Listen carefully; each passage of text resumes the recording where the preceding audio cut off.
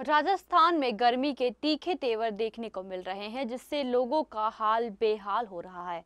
रविवार को जयपुर में तापमान 45.9 डिग्री सेल्सियस दर्ज किया गया था, जो इस साल का अब तक का सबसे अधिक तापमान है। जयपुर का यह तापमान सरहदी ज़िले बाड़मेर, जैसलमेर और बीकानेर से भी ज़्यादा रहा। पिछले आठ साल में मई में जयपुर में यह सर्वाधिक तापमान दर्ज हुआ है। हालाँकि शाम को आंधी और हल्की बूंदाबांदी ने कुछ हद तक राहत दी। मौसम केंद्र जयपुर ने आज से 23 मई तक भीषण गर्मी का अलर्ट जारी किया है।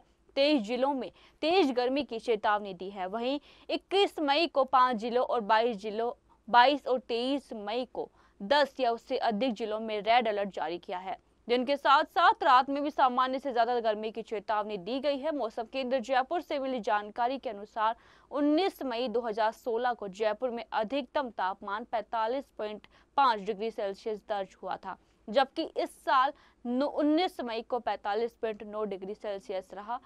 इसके बीच में सालों में तापमान 45 डिग्री या उससे ऊपर रहा, लेकिन 45.9 डिग्री तक नहीं पहुँचा। कल सुबह से जयपुर में आसमान साफ़ रहा और तेज धूप निकली, जिसके दिन में हीट वेव चली। शाम को करीब पाँच बजे धूल भरी आंधी आई और शहर के कई हिस्सों में बूंदाबांदी हुई, जिससे लोगों को थोड़ी बहुत राहत मिली। बारिश और आंधी के कारण रात में तापमान थोड़ा कम रहा।